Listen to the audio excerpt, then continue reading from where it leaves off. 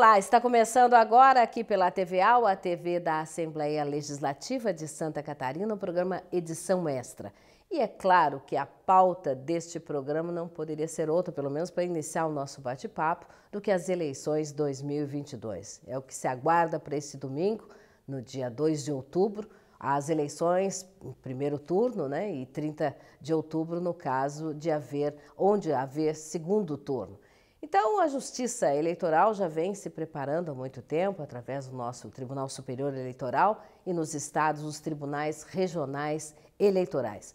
Em Santa Catarina, o TRE garante que está tudo pronto para o pleito deste domingo. Uma equipe da TVO conversou inclusive com o presidente do TRE, que é o desembargador Leopoldo Brigman, que garante que está tudo pronto. Vamos ver. E no próximo domingo, a nossa força-tarefa estará totalmente apta para receber todos os eleitores do Estado de Santa Catarina para exercer a cidadania, que é o ato maior de uma eleição. Clima calmo, é, independente disso, nós criamos o nosso gabinete de pronta resposta, ou seja, desde a Celesc até a Polícia Federal estarão no dia é, de prontidão, digamos, né, para qualquer fato que possa acontecer, que não esteja no organograma, então recebemos no edição extra desta semana o Marcelo Espinosa, colega jornalista da Assembleia Legislativa de Santa Catarina, e também o nosso Fabiano Rambo, do portal da Rádio eh, Centro-Oeste, ele que está lá já nos acompanhando para conversar com a gente sobre esse momento histórico. Vou começar até conversando com o Marcelo. Marcelo, que bom te ter aqui. A gente que parece que vai estar junto também aí durante a, a, a a transmissão né, que toda a TVO preparou, toda a equipe de comunicação da Assembleia Legislativa preparou para levar as informações a todos os catarinenses. Vamos estar junto também. Mas eu gostaria já de te ouvir, é, de começo, a tua opinião a respeito deste momento. Temos a afirmar que é uma eleição diferente, um momento mais do que histórico para o Brasil. Olá, Maria Helena, saudação também ao Fabiano e a quem nos acompanha pela TVAL como você disse, uma eleição diferente, porque nós temos um cenário, é, pelo menos na esfera federal, bastante polarizado, é, com tensão, né? a gente observa desde o início da campanha isso. Não que eleições anteriores não fossem tensas, né? as eleições municipais geralmente costumavam ser mais tensas, as rivalidades locais são muito fortes, principalmente nos pequenos municípios.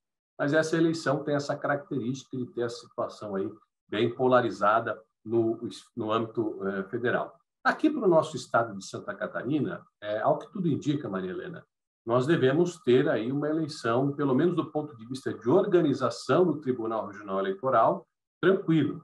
Até porque não é a primeira eleição que está sendo realizada, é uma eleição um pouco diferente, como nós dissemos antigamente, anteriormente, mas a gente tem essa expectativa que tudo transcorra dentro da normalidade, até porque o TRE, como disse o presidente Leopoldo Brigman, o desembargador Leopoldo Brigman, já se antecipou a essas eventuais, é, esses eventuais riscos, que podem surgir dessa polarização da eleição federal e preparou um gabinete de crise é, com reforço de segurança, enfim, para evitar problemas futuros. Né? A gente sabe que a eleição só se define quando a urna desliga, não, não é mais quando a urna se fecha, né? hoje é quando você emite o, o BU, né, o boletim de urna, e você desliga aquela urna e passa a mídia dessa urna para totalização lá no TSE. E a gente, é claro, como você disse, nós vamos ficar atentos principalmente ao resultado aqui para a Assembleia Legislativa. 40 vagas, nós teremos aí uma média de 27 deputados, uma média não, 27 deputados que têm mandato atualmente vão à reeleição, outros 13 não estarão disputando a eleição para a Assembleia, estão em outras disputas ou estão fora da eleição. No caso, são três deputados que estão fora da eleição: o deputado Milton Ovos, o deputado Moacir Sopel, que é o presidente, da Assembleia, e o deputado Romil Tipon. E vamos ficar, evidentemente, de olho no que vai acontecer aqui na Assembleia. Vamos dar as boas-vindas aqui também ao Rambo. Como é que está toda a tua expectativa, Rambo?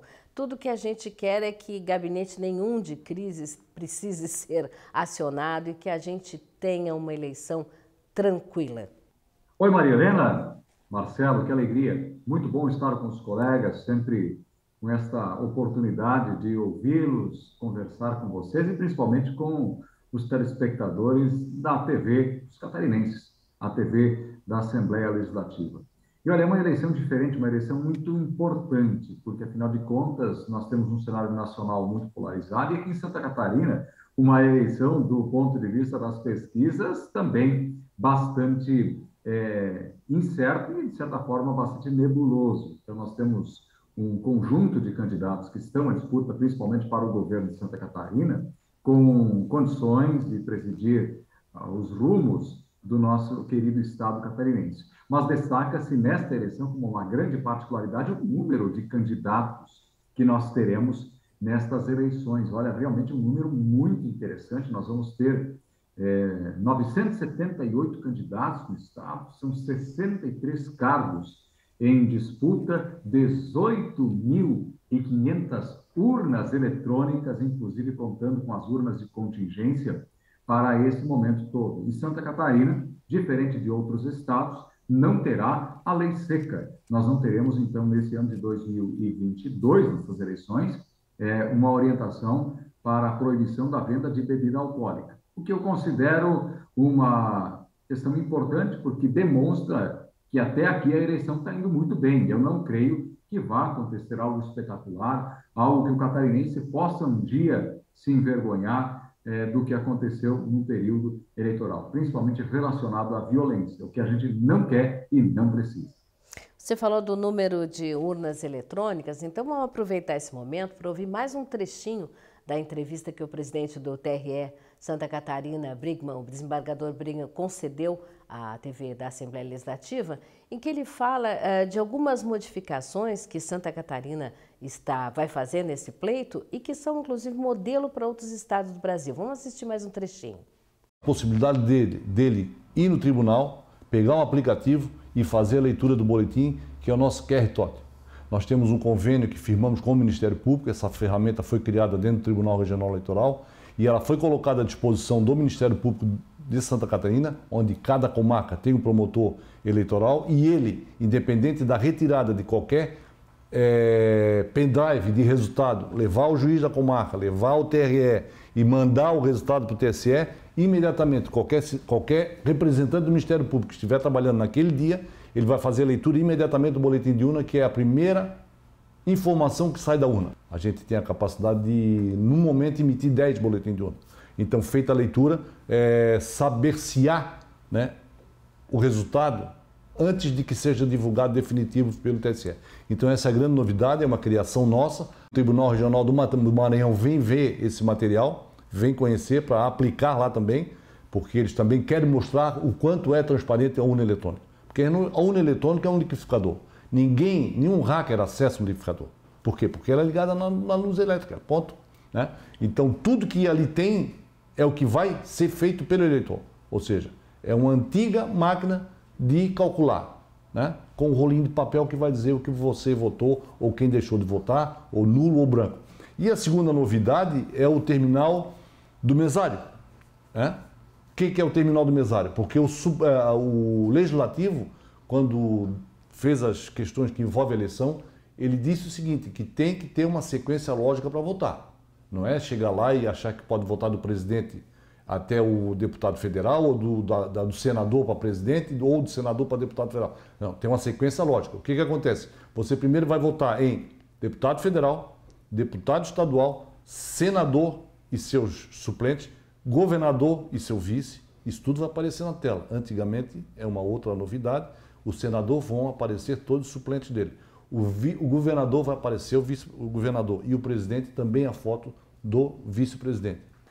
O Marcelo Espinosa, jornalista da Alesc, da Assembleia Legislativa de Santa Catarina, já falou no comecinho um pouco em relação aos números, algumas expectativas em relação à eleição para deputado estadual. Marcelo, gostaria que tu fizesse aí uma análise. Nós temos uma eleição diferente também sobre o aspecto do fim das coligações, na proporcional, né, tanto para deputado estadual quanto para deputado federal. Nós temos aí cerca de cerca não 597 candidatos disputando 40 vagas a deputado estadual. Me fala um pouco desse contexto que você já analisou nesse sentido. Maria Helena, é, Esses 597, é bom a gente deixar bem claro, eles são candidatos que constavam no registro do Tribunal Regional Eleitoral até 16 de setembro. Por que 16 de setembro? Porque foi o dia em que o TRE fez a gravação das mídias que vão nas urnas. O que é isso?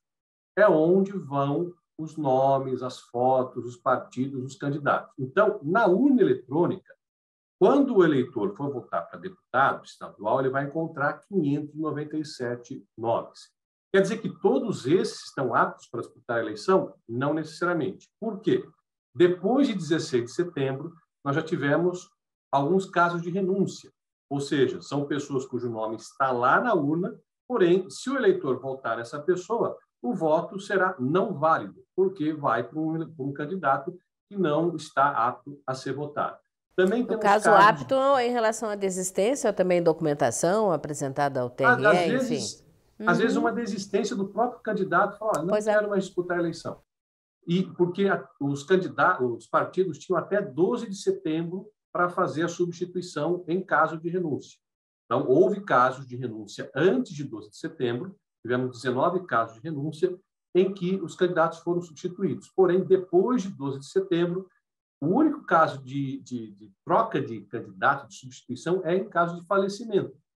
Agora, mesmo que não... tenhamos baixas aí nesse número, né, que alguns tenham desistido, enfim, problemas outros, mesmo assim nós podemos afirmar, é um recorde do número de candidatos inscritos nesse pleito, se comparados é, a outros pleitos. Até porque o número final deve ficar, não vai ficar abaixo de 550. Uhum. Por que, que eu falo isso? porque nós temos 20 e poucos casos de indeferimento com recurso. O que significa?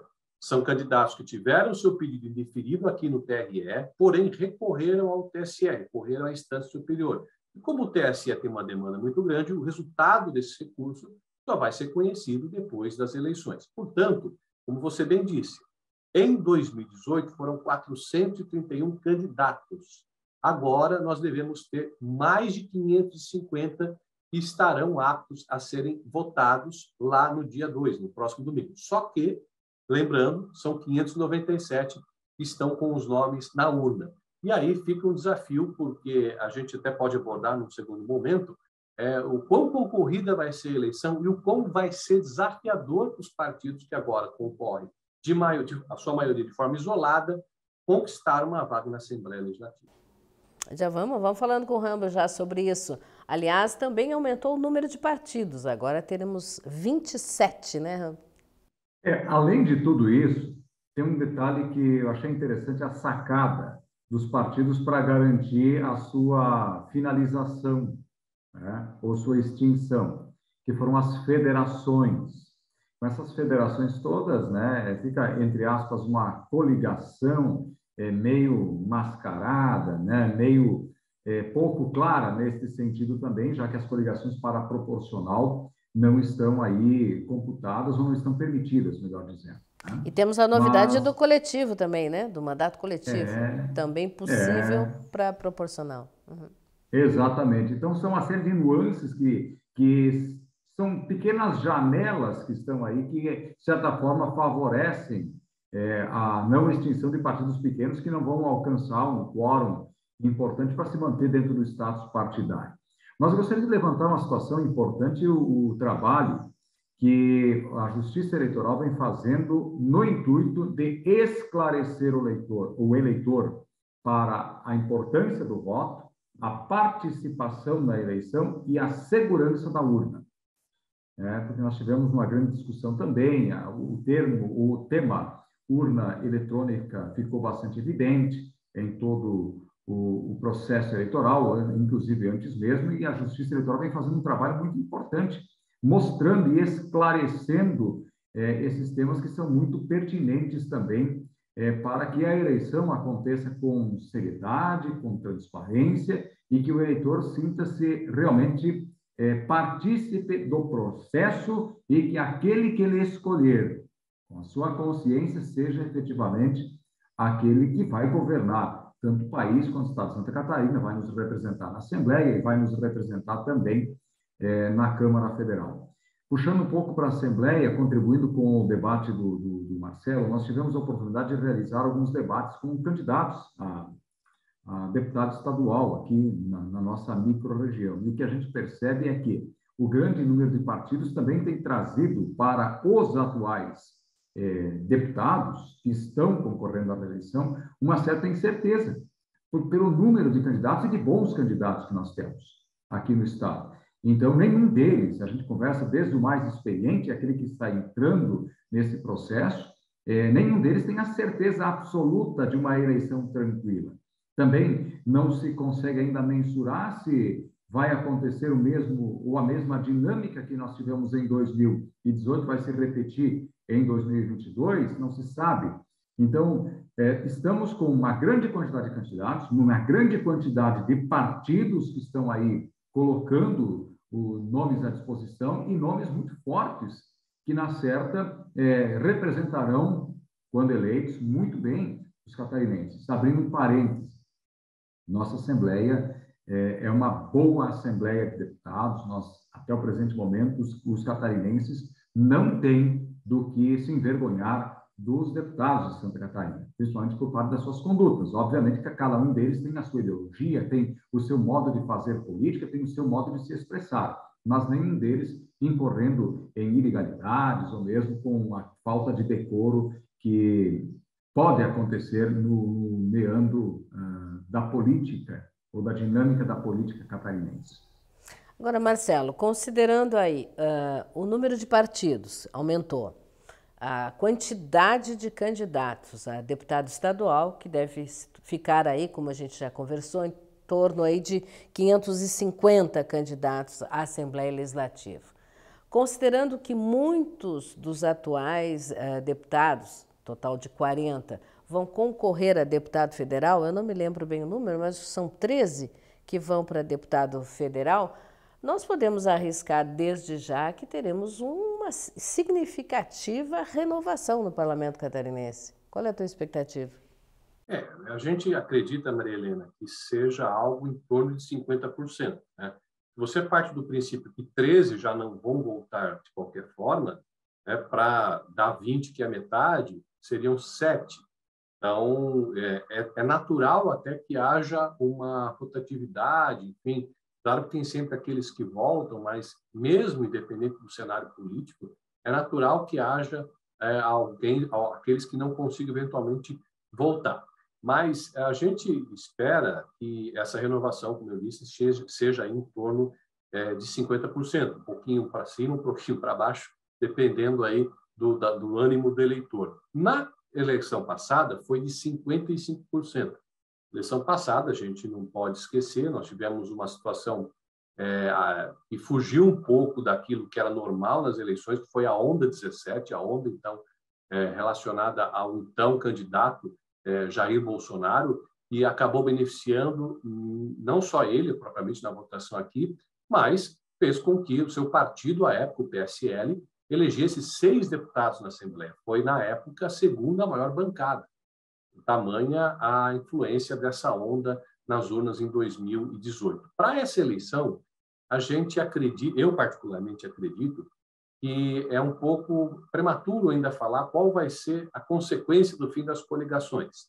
A tendência, evidentemente, é que nós tenhamos menos partidos conquistando vagas é, para essa eleição. Por que, que eu digo isso? É, as nominatas elas precisam, precisam ser grandes e tem partidos que não fizeram nominatas grandes, tem partidos com nominata de 17 candidatos, podia ser até 40. É, temos partidos aí com 20 ou até um pouco menos. E também a gente tem que levar em consideração que, mais do que nunca, os chamados puxadores de voto, né, quem acompanha a eleição sabe que é um puxador de voto. É, às vezes, aquele cidadão que antigamente, por causa da coligação, ele era votado e ele trazia pessoas que tinham tido poucos votos. Né? Já aconteceram vários casos disso, eleição nacional com o Tiririca, com o ex-candidato presidente Enéas, enfim. Então, é, a necessidade dos puxadores de voto, ela passa a ser essencial. Até porque, sem a coligação, você não tem mais aquela perspectiva que os partidos pequenos tinham, se juntar em três, quatro, cinco, seis, sete partidos numa coligação e indo para aquela lógica do grão em grão, né, conseguir ali uma, duas vagas dentro da coligação. Isso não vai mais existir. Então, realmente, é um cenário que a gente imagina na eleição de 2018 foram 12 partidos que conseguiram cadeiras para a Assembleia. Eu, particularmente, não acredito que esse número vai se repetir. Nós vamos fazer um rápido... Pois não, Ramos. Tudo não, bem. Ia comentar, se a gente dividir o número de... Vamos imaginar que todo mundo vai votar no Estado. Todo mundo vai votar, nós não vamos ter abstenção alguma, todos os votos são, são bons. Tá? É, não é que tenha voto ruim, mas quer dizer que tenha voto que, é, invalidado. que não vai ser computado, invalidado. Tá? É, 5 milhões e meio para a gente arredondar. A gente divide isso pelo número de, de, de, de cadeiras na Assembleia, nós vamos ter aproximadamente aí 130 mil votos. Então, ou seja, o partido para eleger um deputado, ele vai ter que chegar pelo menos 130 mil votos. Então, aí que pode haver isso que o, que o Marcelo vem explicando agora, de não alcançar o coeficiente eleitoral para poder eleger ou para poder ter um membro na Assembleia Legislativa, porque a regra ainda é essa. Né? Precisa haver o coeficiente eleitoral, até mesmo para que um segundo deputado venha a ser é, é, eleito, venha a fazer parte da, da Assembleia é, no Estado. Mas esses efeitos que o Marcelo acabou de citar, né, que são os puxadores de voto, como bem lembrado aí o Tirico, Enéas, enfim, né, é, são fenômenos que sempre chamaram muita atenção do brasileiro. Né? E creio que nesta eleição, pelo menos aqui no Estado, nós não teremos é, essa condição, conhecendo um pouco aí da, dos candidatos que a gente tem visto. Né?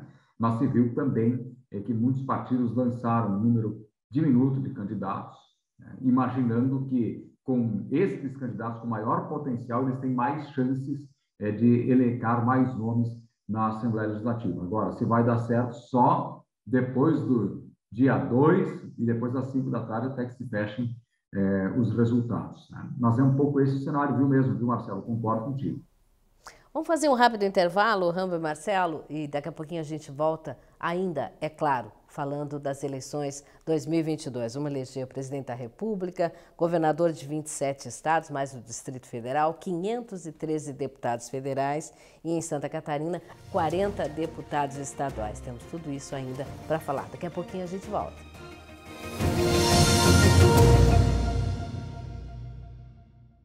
Olá, estamos de volta aqui pela TV Al com nossa edição extra, claro, falando das eleições 2022. Afinal de contas, neste domingo nós temos um dever e também um direito a exercer o nosso papel de cidadãos e ir lá na urna eleger aqueles candidatos que consideramos melhores para o nosso país, para o nosso Estado. Estou conversando aqui com Marcelo Espinosa, jornalista da Assembleia Legislativa de Santa Catarina, também com o Rambo, lá do Centro-Oeste, da Rádio Centro-Oeste do nosso Estado, falando sobre tudo essa expectativa né, dessa eleição tão diferente que não se consegue não ter é, grandes é, perspectivas, né? É, ditar mais ou menos o que vai acontecer. Só a urna depois das 5 da tarde, quando começar a ser auditada, né? verificada. Mas, Rambo, a gente falou um pouco aí sobre as dificuldades, até mesmo para a eleição de um deputado estadual né, nesse pleito. Temos que considerar também o grande número de candidatos deputados federais. Nossa representação em Brasília são de 513 parlamentares e é bom que se explique também que de, dos senadores a serem eleitos pelo país, Santa Catarina tem direito a uma vaga, ou seja, somente um vai chegar ao Senado da República representando Santa Catarina. É, nessa eleição realmente vamos ter, vamos, é até importante o que vamos falar agora, porque primeiro nós vamos votar né, para o deputado federal, depois para o estadual, aí nós vamos votar para o, o, o senador, para o governador e, por último, para o presidente. Né? E esse, essa será a ordem de votação para a, a, esse momento. Lembrando que terá preferência para a votação né, os juízes, os servidores da justiça eleitoral, os promotores, os policiais, os idosos, as pessoas com algum tipo de deficiência, enfermidade, pessoas obesas, é, pessoas com criança de colo. Então, essas pessoas terão efetivamente prioridade para a participar das eleições eh, no próximo domingo. Mas falando especificamente do Senado, nós, nesta eleição, vamos votar para um único senador, ou seja, nós teremos então a renovação de um terço é, dos, dos senadores é de Santa Catarina. Na próxima eleição, nós teremos, então, a renovação é, de dois terços dos senadores. Lembrando que cada estado tem direito né, a um número igual de senadores, né, um número de três. Já para os deputados federais, este número, que aqui em Santa Catarina é 16, ele é em conformidade ao contingente ou à população de eleitores que o Estado tem. Né? Aqui em Santa Catarina são 5.500, 5 milhões e 500 mil, para arredondar, 16 é, parlamentares. O Estado de São Paulo, obviamente, tem maior número é, de vagas no, no, Congresso Nacional, portanto, pela sua população. A região Sudeste, que inclusive, conforme alguns analistas e especialistas políticos tendem a afirmar que novamente a eleição vai ser decidida é, em âmbito nacional é, no Sudeste brasileiro. Agora, aqui em Santa Catarina, nós podemos dizer que não vai ter município que vai, que vai definir a eleição. Joinville é o maior colégio eleitoral do estado, tem 428.730 eleitores, devem Florianópolis, é, Blumenau, São José, Chapecó, Itajaí, Criciúma, Palhoça, Lages, Jaraguá do Sul e Balneário Camboriú. E já eu estou aqui no Oeste, tem também aqui a grande maioria dos municípios que tem o menor número de eleitores, como é o caso, por exemplo, do, município vizinho aqui, a minha cidade, Pinhalzinho, que é Jardinópolis, e tem apenas 1.472 eleitores, um número muito pequeno é, de eleitores aqui, porque é, são municípios muito pequenos realmente, né? E, então, Santa Catarina é um estado muito diverso também nessa condição. Por isso que não tem cidade que vai decidir a eleição aqui no estado. E Marcelo, então, como eu falava, são 513 deputados federais, né, na nossa Câmara Federal, e temos essas vagas para Santa Catarina. A mesma dificuldade né, de eleger os 40 deputados estaduais também é 16 deputados federais chegarem lá. É, é, precisa de bem mais votos né, uhum. para a Assembleia Legislativa e tem esse desafio também no fim das coligações, como isso vai impactar nessa eleição para deputado federal. De certa forma, Maria Helena, é a gente está vivendo algo que praticamente desde a redemocratização a gente não, não, não viu, porque você pega ali em 1986, é quando começam as coligações, e de lá para cá todas as eleições tiveram coligações para as eleições para deputado. Só essa, a partir desse ano, nós já não tivemos também para vereador na eleição, na eleição de 2020 para os municípios, e a partir de agora não teremos essa essa a existência dessas coligações. Então, o desafio realmente é muito grande, não só para eleger federal, como para eleger estadual.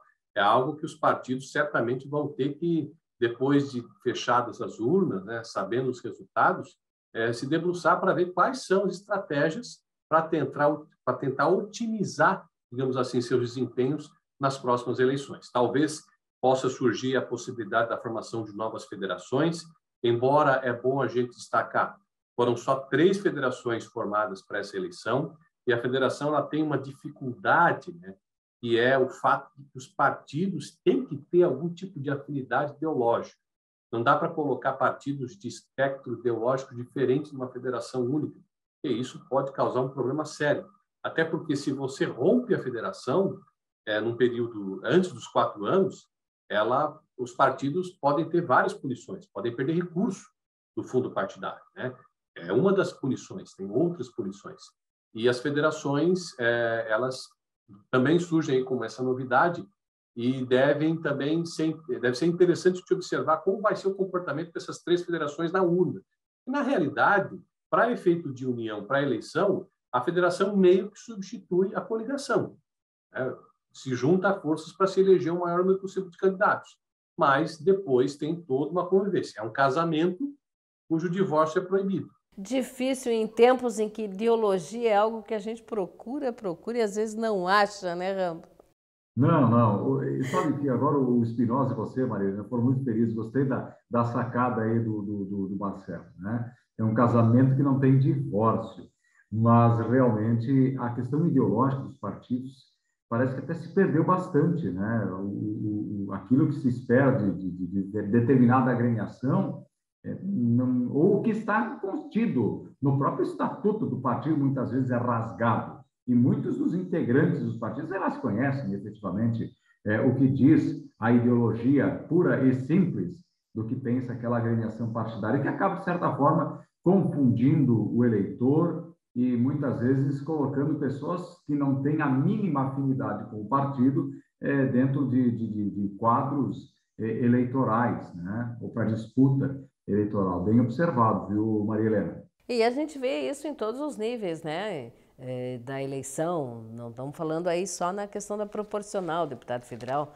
deputado estadual, essa questão ideológica a gente vê nas candidaturas, nas formações para governos do Estado, para a presidência da República, enfim, a gente vê de tudo. Eu já vi algumas eleições e cada vez fico mais estranhada de ver determinadas coisas. Agora, em relação à representação feminina, Parece, eh, Marcelo, acho que tem números, é, que houve um pequeno acréscimo né, no número de candidatas aos cargos na proporcional. Não sei se isso vai significar ou impactar no número realmente de cadeiras a serem ocupadas por mulheres. Uma coisa é uma coisa, outra coisa é outra coisa, alguém já falou. Pois é, Maria Helena. É, a gente teve esse aumento observado, de fato, a gente utiliza aí como referência a proporção, porque se você for hum. observar em números absolutos, todo ano aumenta o número de candidatos mulher. Mas aí você tem que observar a proporção com relação aos homens. E nessa eleição, nós temos aí mais de 32% dos candidatos que declararam ser do sexo feminino. Na eleição de 2018, cerca de 30%. Então, teve um aumento. De certa forma, o Estado está obedecendo é, àquela proporção que é exigida pela legislação, e determina que pelo menos 30% dos candidatos sejam de um determinado gênero. É que, como nós temos menos mulheres, então tem que ter no, 30, no mínimo 30% de mulheres.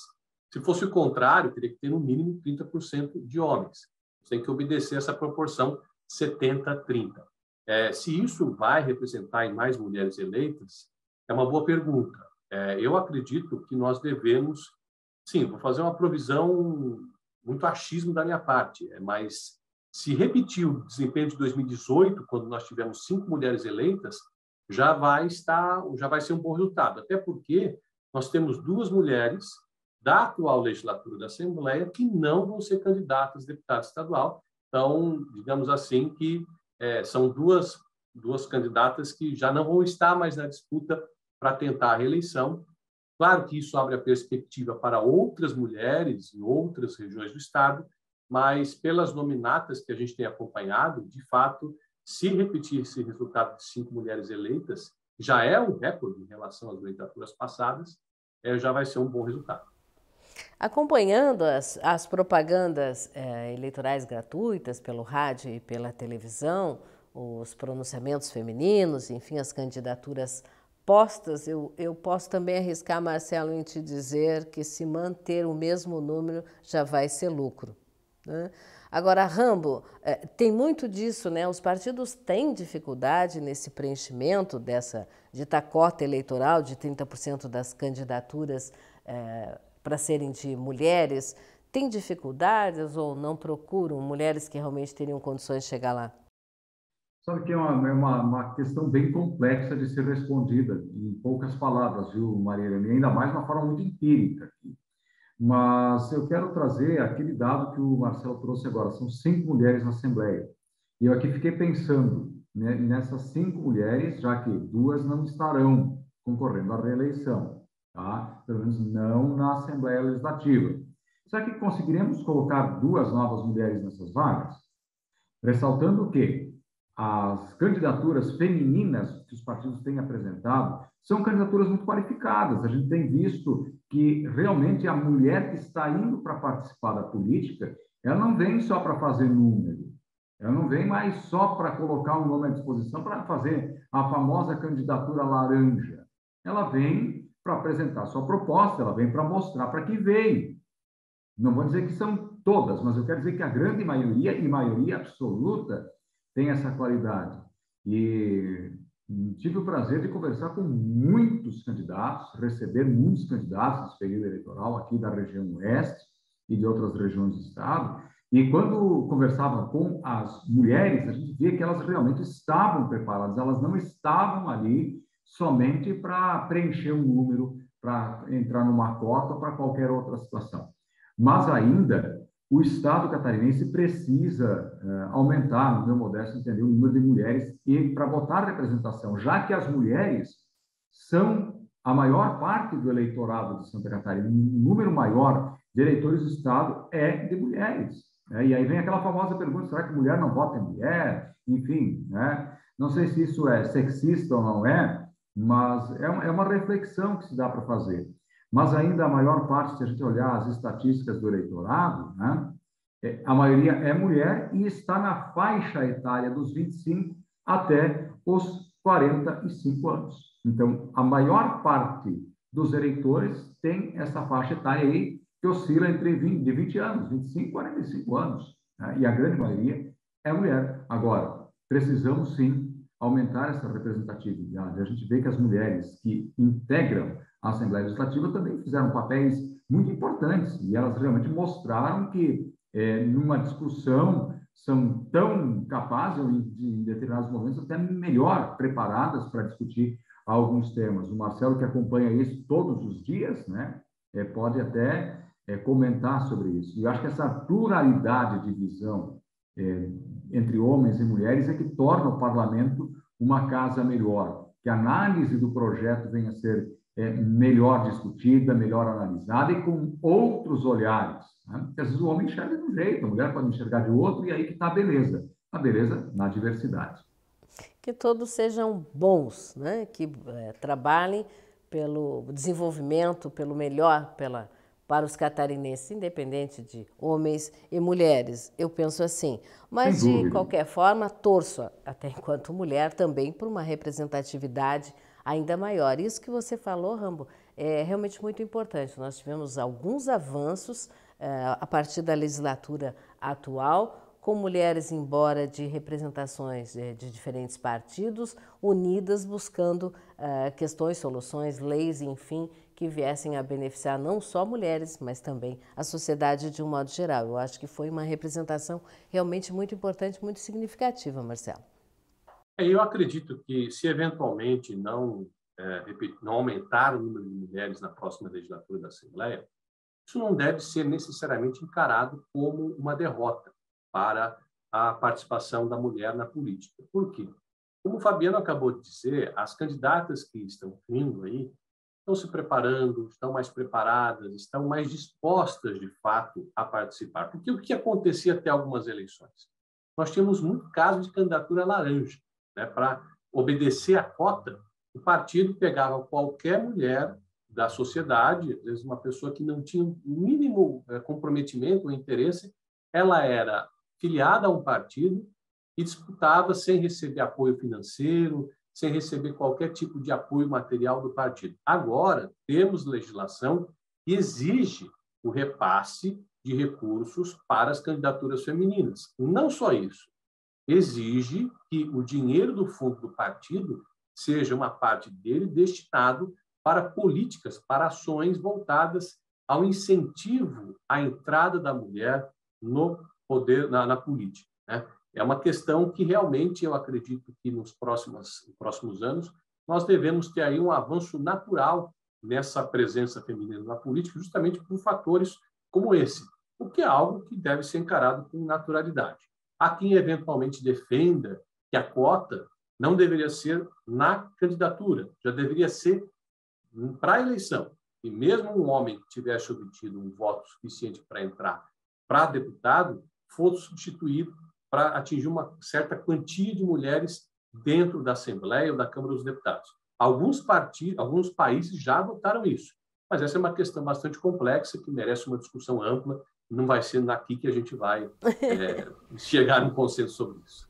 Com certeza, a gente já vê isso em outros países, né? meio a meio. Né? E aqui no Brasil seria justo, já que somos uh, mais da metade até do eleitorado, é, somos nós mulheres, composto por nós mulheres. E realmente, quando eu me refiro assim, o que eu vi por aí em termos de propaganda, acho pouco provável, eu não falo na qualidade dessas mulheres, tá? Só para deixar bem claro, mas sim na dificuldade dessa competição com uh, homens que já estão mais à frente ou até mesmo já tendo cargos eletivos é, mais facilitados na hora da eleição. Mas estamos na torcida, não vamos desistir não de que esse número até mesmo seja superado. Vamos a mais um rápido intervalo? Ok, Marcelo, pode falar. Só uma observação, Marilena, completando isso que você disse. Hum. Claro que a gente não pode falar nomes aqui, até por, por restrições uhum. à legislação eleitoral, mas a gente observa na nominata, nós temos vereadoras, nós temos ex-prefeitas, uhum. nós temos lideranças é, dentro de determinados setores, mulheres que estão aí aptas, estão colocaram seus nomes à disposição e que devem ter boas chances aí de conquistar uma votação, quem sabe, é, se eleger deputado. É claro que o desafio de eleger esse deputado é complicado, né? como disse o Rambo anteriormente, a gente acredita que nós vamos ter um quociente de praticamente 90 a 100 mil votos para essa eleição, para um partido conseguir fazer uma cadeira. Mas a, as candidaturas estão postas aí e nós temos várias opções. Então, para a gente encerrar uh, esse bloco, ainda claro sobre eleições, nós temos a partir do dia, agora no dia 2, o voto obrigatório, é bom que se diga, né? O voto obrigatório uh, de pessoas entre 16 e 69 anos, se eu não me engano, né, gente? 16 e 69 anos, o voto obrigatório. Mas, como eu falei antes, é um dever? É obrigatório? Ok, mas a gente tem que exercer esse direito. Então, eu gostaria de passar para ti, Ramo, para a gente só encerrar o assunto eleições, que tomou conta desse nosso primeiro e segundo bloco do Edição Extra, fazendo exatamente essa reflexão da importância de estarmos lá votando conscientemente pelo melhor para todos nós.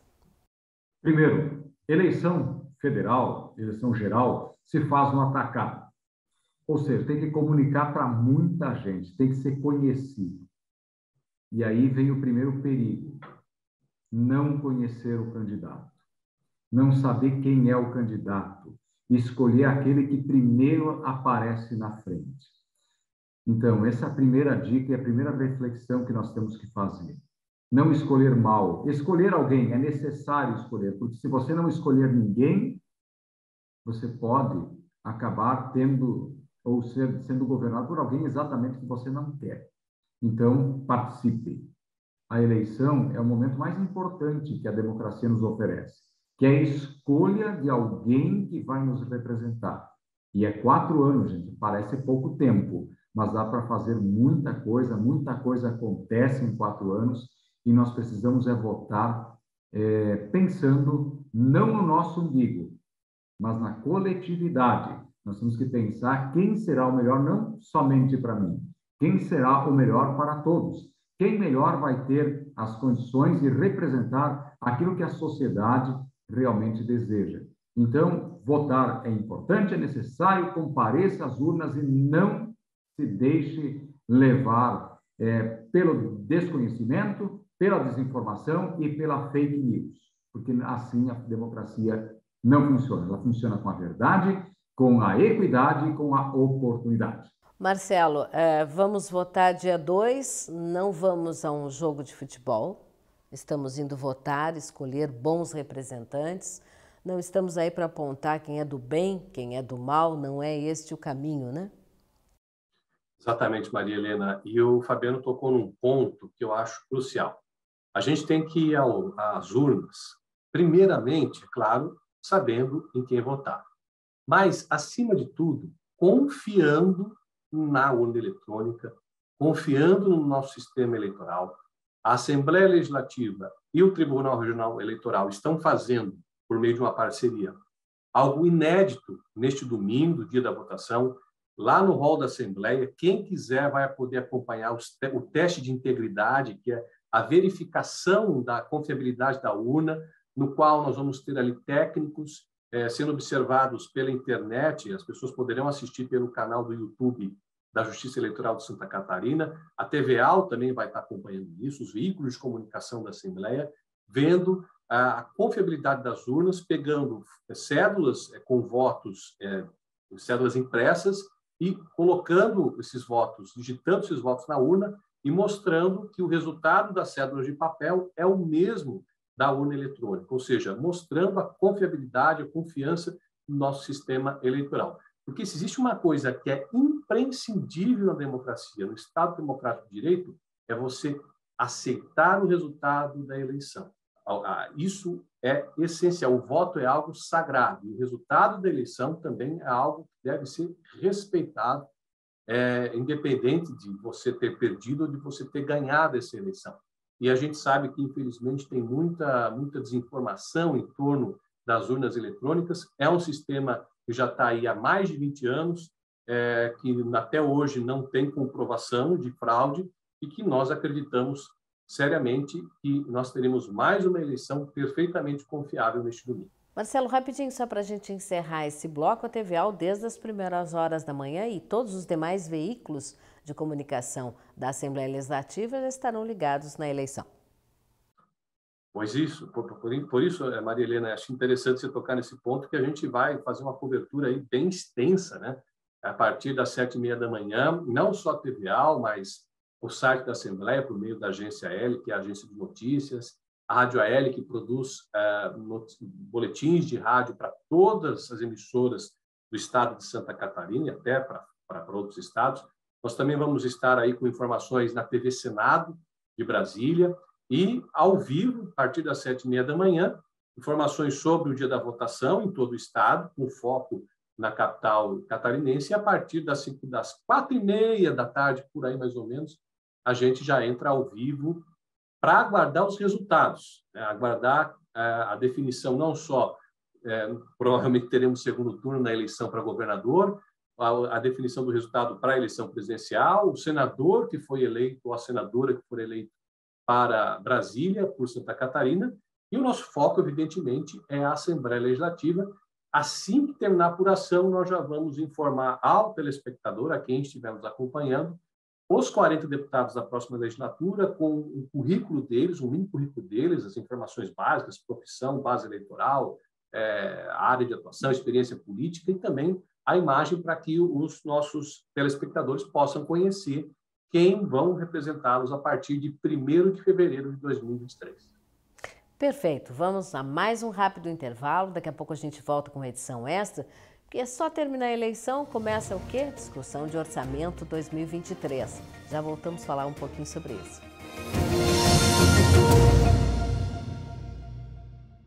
Você está acompanhando pela TVA o edição extra, claro, nos dois primeiros blocos falamos sobre as eleições 2022 e vamos aproveitar agora esse momento e a participação do, do Espinosa, do Marcelo Espinosa, jornalista da Assembleia Legislativa e também do Fabiano Rambo, lá da Rádio Centro-Oeste, para a gente falar sobre outro assunto que também é muito importante para todos nós. Eleição importantíssima, mas é o orçamento falar o que, que Santa Catarina vai dispor para investir nas principais áreas, né, saúde, educação, em 2023. Essa peça deve estar chegando já na Assembleia Legislativa, né, Marcelo, para apreciação. Claro, passando o processo eleitoral, o assunto será esse. Isso, Maria Helena. A, a, a, legislação determina que o governo do Estado, o Poder Executivo no caso, tem até 30 de setembro é, para mandar o projeto da LOA, que é a Lei Orçamentária Anual para a Assembleia Legislativa. Então, ele está chegando. A tramitação dele só deve começar na semana que vem, lá por volta do dia 3, que é quando a Assembleia retoma suas atividades, e ao retomar as suas atividades, nós vamos ter sessões, e para que um projeto entre em tramitação, para que os prazos dele passem a contar, é necessário que ele seja lido em plenário durante uma sessão, que é o que vai acontecer na terça-feira. É, o governo do Estado já fez uma coletiva, especial à Secretaria de Estado da Fazenda, apontando aí um orçamento um pouco superior àquele previsto na LDO, que nós discutimos bastante aqui no programa. A LDO é o esboço do orçamento que é feito no primeiro semestre, que vai ser utilizado como base na preparação do orçamento propriamente dito no segundo semestre. Naquela ocasião, primeiro semestre, o governo projetava algo em torno de 43 bilhões de reais de orçamento. Para o orçamento propriamente dito, algo em torno de 44 bilhões, ou seja, aumentou aí um pouco mais de um bilhão, isso em números arredondados. É, mesmo com a redução das alíquotas do ICMS, dos combustíveis, energia elétrica, do transporte coletivo, é, o Estado acredita que terá uma arrecadação maior no ano que vem em comparação com esse ano. É uma, é uma perspectiva aí bem positiva, otimista, eu diria. E detalhe curioso, né? É o orçamento que o próximo governador, seja ele quem for, vai ter que trabalhar, ou seja, com aquele recurso que está lá, é que o próximo governador, independente de quem seja ele, vai ter que trabalhar. O atual governo já dispôs de um bom orçamento, né? Então, o futuro, pelo visto, terá mais, é isso, né, Rampo? Olha, o, são 44 bilhões, né, descontado o Fundeb, são 28 bilhões. Né, no orçamento, pelo menos, é essa a expectativa, né, que venha a peça orçamentária, a, a lei do orçamento mesmo. Ninguém sabe ao certo que ainda não foi apresentada, ela não foi lida na Assembleia, como bem lembrou o, o Espinosa agora há pouco. Mas ele tocou numa questão muito importante, que essas desonerações todas que foram feitas, lembrando que o combustível e os bens essenciais, eles têm um impacto importantíssimo na arrecadação do Estado. Então, ou nós teremos um crescimento econômico importante no próximo ano, ou uma inflação muito interessante no próximo ano também. Então, aí nós só vamos ter que ver o que efetivamente vai acontecer para chegar nos 44 bilhões, que é a expectativa do Estado. E se perguntar para qualquer pessoa que tenha acompanhado um pouco o orçamento, os orçamentos e a economia, é bem otimista o valor dos 44 bilhões, porque ainda nós não sabemos bem ao certo o comportamento é, da economia no ano que vem. Né? E se vai haver, a partir dos resultados da eleição, especialmente a nacional, algum tipo de reflexo econômico positivo ou negativo, mas isso, na certa, vai atingir os estados. E aí vai ter uma outra discussão importante no próximo ano, que será quanto que esse rebatimento do ICMS afeta o caixa do Estado e quanto que o governo federal vai ajudar, se é que vai, para compensar os estados nestas perdas todas aí do, do valor é, do ICMS. Mas chamou atenção pelas expectativas um incremento de recursos para a educação, também para a saúde, é, no próximo ano, que dá a entender que esses são setores muito importantes e há um setor que a sociedade muito espera e aguarda, que é o de infraestrutura, é, o investimento de infraestrutura. Assim, quando chegar a lei efetivamente, que a gente poder é, abrir ela, né, e os deputados também fazerem as suas colaborações e contribuições, a começar pela, pela Comissão é, de Finanças e Tributação, depois pelas demais comissões que vão vão também analisar se vai ser possível ou se vai dar a entender que é possível é, fazer tudo aquilo que o próximo governante, na certa, espera fazer, independentemente de quem seja. Áreas fundamentais, sempre se diz isso: educação, saúde. Saúde, sim, principalmente, tivemos problemas e temos questões importantes ainda eh, de origem da própria pandemia da Covid-19, questões a serem eh, organizadas na rede toda de, de do próprio Sistema Único de Saúde para atendimento a sequelas, enfim, uma série de coisas. Saúde, sim, precisa de uma atenção bastante especial. E tem uma outra questão, Marcelo, até para a gente encerrar, eu já quero uh, saber de ti detalhes, que todos os governantes, em todos os níveis, têm que atentar, que é a questão ambiental. A gente vê aí os reflexos é, com todas as mudanças, as alterações climáticas, precisamos estar atentos e cada um de nós precisa fazer a sua parte. Estamos aí tratando agora de uma LESC sustentável. Fala um pouquinho para a gente, Marcelo.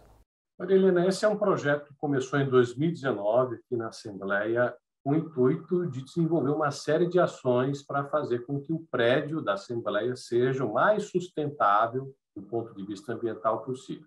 Algumas ações já estão em prática, por exemplo, instalação de painéis solares para a geração de energia solar, é, reaproveitamento de água da chuva para regar canteiros e para descarga de vasos sanitários, mas tem um ponto problemático, isso não é só na Assembleia, mas é em todo o país, que é a questão do lixo.